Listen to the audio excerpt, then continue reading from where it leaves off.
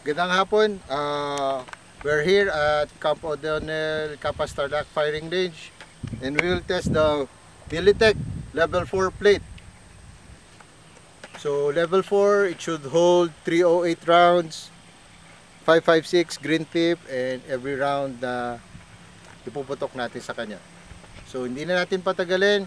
Let's put the level 4 plate dun sa area and fire rounds in it.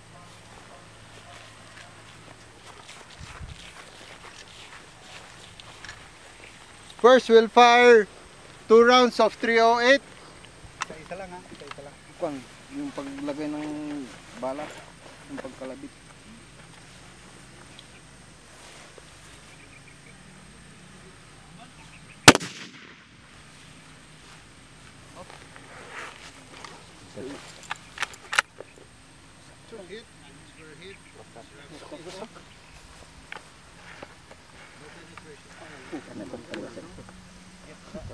Wasak dulu. Diba na yun. Pero hindi na lumusot. Hindi lumusot. Baba na kaliwa. Pag tinamaan ka na lang dyan, huwag ka ganun. Tago ka. Sniper na yung tinitira ko. Pero palig yapon dati. Dapat sa ulo. Ulo ilagay mo. Wala. Yung test na ito. Wala na. Impak ba? Impak mo. Taas kaliwa. Nasa kaliwa sir.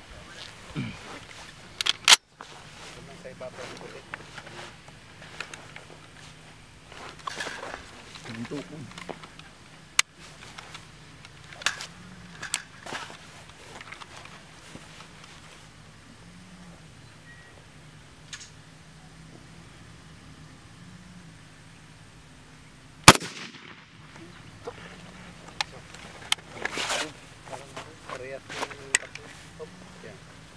Ispire. Your 40 round, third shot. Rin, pero wala pa rin. Paano kung ikakabangag ka pero Doon One round, sir. ng, ng, uh, ng CH. Yes sir.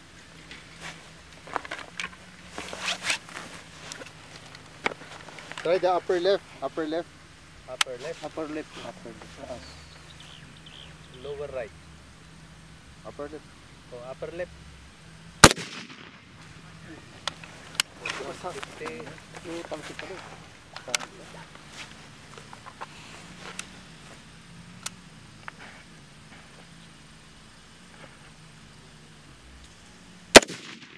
Fifty.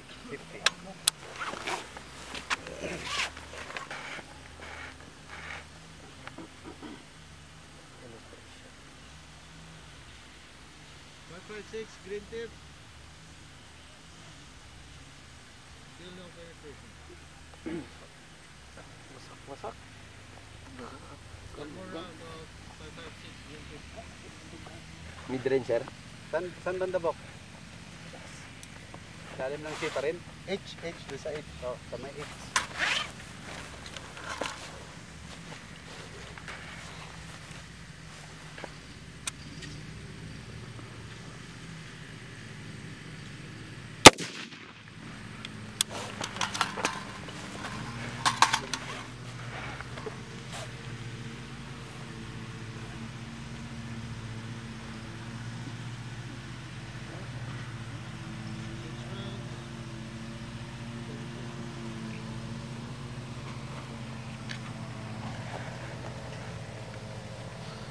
Yan, tignan, tignan. Tignan dun.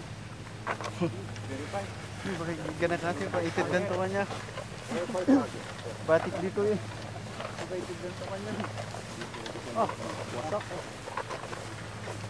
Sorry. San Lopet. Usa. So we fired two 308s, two 7.62, and two green tip rounds. And since our level 4 are made, is made of tiles, can see tile siya. So no penetration. This is only tiles that came out, but basically no penetration.